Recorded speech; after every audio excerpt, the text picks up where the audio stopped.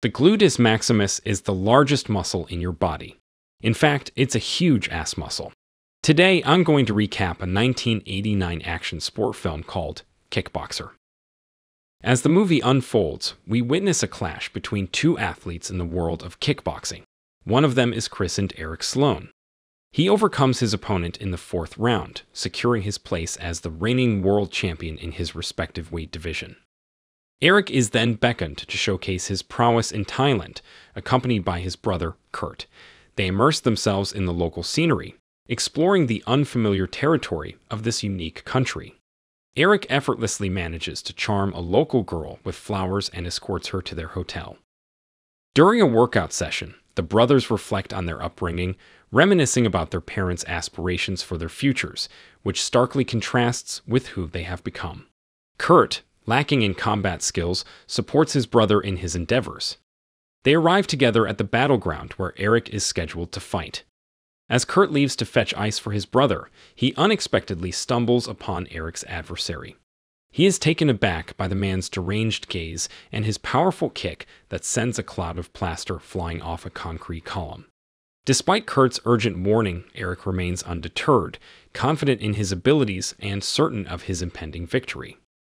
As the battle commences, Eric takes a fall in the initial round, but quickly regains his footing. His rival inflicts relentless, brutal attacks that he's unable to withstand. Kurt senses his brother's impending defeat and attempts to dissuade him, but Eric's stubbornness propels him back into the ring. His opponent seizes the moment to floor him, landing a devastating blow to his spine. All of this is witnessed by Kurt, who, when he tries to intervene, is brutally thrown out of the ring by the frenzied kickboxer. The new champion callously discards the championship belt, and Eric is unceremoniously discarded onto the street like a hapless stray. An American named Taylor steps in to assist him. A hospital nurse informs them that they can visit Eric only the following morning, so Kurt spends a restless night in the hospital corridor. The subsequent morning, the doctor delivers the grim news Eric is paralyzed, unable to walk, and will remain hospitalized for another three months. Overwhelmed with sorrow and anger, Kurt contemplates seeking revenge against his brother's assailant, but Taylor discourages him. The only way to exact revenge would be to confront the kickboxer in the ring, but does Kurt possess the necessary strength for such a fight? Kurt wanders around Thai temples, struggling to grapple with his situation. In his travels, he discovers a local gym and requests a fight with Tong Po, the man responsible for his brother's state, only to be met with mockery. Taylor intercepts him outside the gym, suggesting that a certain Xian might be able to train him. They plan to visit Xian the next day, but for the moment, Taylor is eager for some light-hearted fun, and they head to a strip club. Taylor indulges in drinks while sharing stories from his life, with Kurt limiting himself to water and smoke. But what motivates Taylor to assist Kurt? He explains drawing a parallel with a friend from his Vietnam days who found himself in trouble when Taylor was not around, making him resolve to be there for Kurt now. In the early hours of the day, they journey to Xian's abode. Nestled amidst the jungle, his residence is a humble hut. Taylor advises Kurt not to upset Xion. Upon approaching the house, Kurt unsuspectingly triggers a trap, leaving him hanging upside down.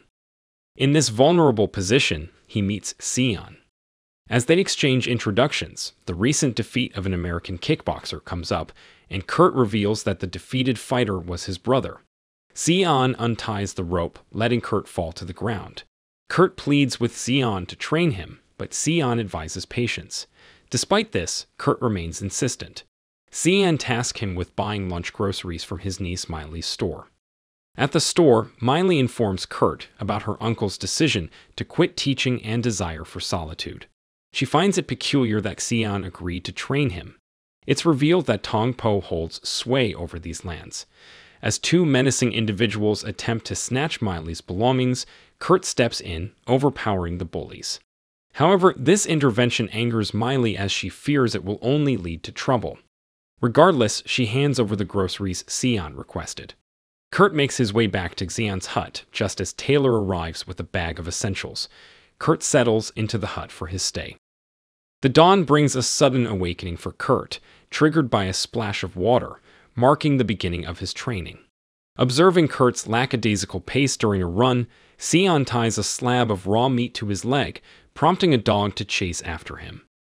A shared dinner with Xian's niece sparks a romantic interest between Kurt and Mylee, leading to a shared kiss. As the intensity of the training escalates, Tong Po continues to claim victims. During a session, Xian instructs Kurt to kick a palm tree. After numerous kicks, Kurt reaches his limit, fearing a broken leg if he continues. Xian declares Kurt unfit for his home and announces the end of training. However, Kurt refuses to leave. Xian invokes the memory of Kurt's brother, which reignites his determination. Ignoring the pain, Kurt unleashes a powerful kick, toppling the palm tree. Thus, the training persists. After a period, Xian takes Kurt to a local bar for some relaxation. He encourages Kurt to unwind with some dancing. As Kurt moves to the rhythm, he attracts the attention of a group of thugs who launch an attack. Kurt neutralizes them effortlessly, but when he turns to find Xian, he finds his trainer outside, negotiating fights with formidable opponents. Kurt is baffled by the unexpected attack, only to learn that Xian had provoked the thugs to test Kurt's new abilities. Kurt's inaugural fight in the ring is a testament to his intensive training. His powerful kicks immediately incapacitate his adversary, resulting in a knockout. The crowd's chants of White Warrior underscore the respect Kurt has earned. At night, a newspaper headline about Kurt's forthcoming fight catches Eric's eye, igniting his fury, for there was a time when he was the boxer gracing the headlines. He arrives at Kurt's residence the next morning, planning to stay and persuade Kurt to avoid a confrontation with Tong Po. Just then, they receive a letter confirming the impending duel. Freddie Lee is revealed to be the orchestrator of this match, with the stipulation that the combatants will engage in traditional fighting style. Lee takes a million dollar loan from his boss to place a bet on Tong Po. The drama escalates when Mylee, Kurt's love interest, is abducted and assaulted by Tong Po's followers, with the kickboxer himself violating the girl. Eric, too, is kidnapped by these same individuals, who severely harmed Xian's dog, intending to unsettle our protagonist. The day of the battle draws near. As the ritual mandates, they immerse their bandages in resin, then in shards of broken glass. Amidst this charged atmosphere, Kurt remains composed. Prior to the fight, Freddie Lee approaches Kurt with a proposition to deliberately lose every round to ensure Eric's safety. The fight that ensues is fierce, with Kurt taking a beating and falling to the mat, while Xian ventures off on a mission. During the second round, Kurt manages to resist Tong Po's onslaught to an extent. Simultaneously, Xian infiltrates the location where Eric is detained, attempting a rescue. However, he finds himself ensnared. Taylor arrives just in time to assist, gunning down the remaining villains. Eric is now safe, freeing Kurt from the pressure of their blackmail. The fight resumes and Tong Po slashes Kurt's abdomen, splattering blood everywhere. Tong Po's revelation of Mylee's assault incites fury in Kurt. As the next round is about to start, Eric makes his presence known to Kurt, signaling that he's safe. The crowd joins in, chanting White Warrior in Thai. Remembering his rigorous training, Kurt requests his bandages to be removed.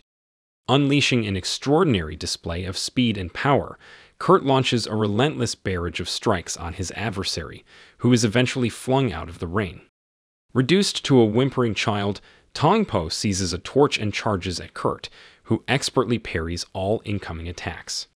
As Tong Po attempts to flee, Kurt approaches him and delivers a knockout blow, not just for Mylee and Eric, but also for the villagers who had lived in fear of Tong Po's henchmen. Freddie Lee doesn't escape unscathed either, getting a well deserved blow. The victory is celebrated in the company of Xian, Eric, Taylor, and Mylee, instilling a sense of hope that they will indeed be okay. If you enjoyed this video, don't be shy to hit the like button, and if you disliked it, hit the dislike button twice, just to be sure. It would be best if you watched the whole movie. Thank you very much for watching. Please subscribe for more videos like this.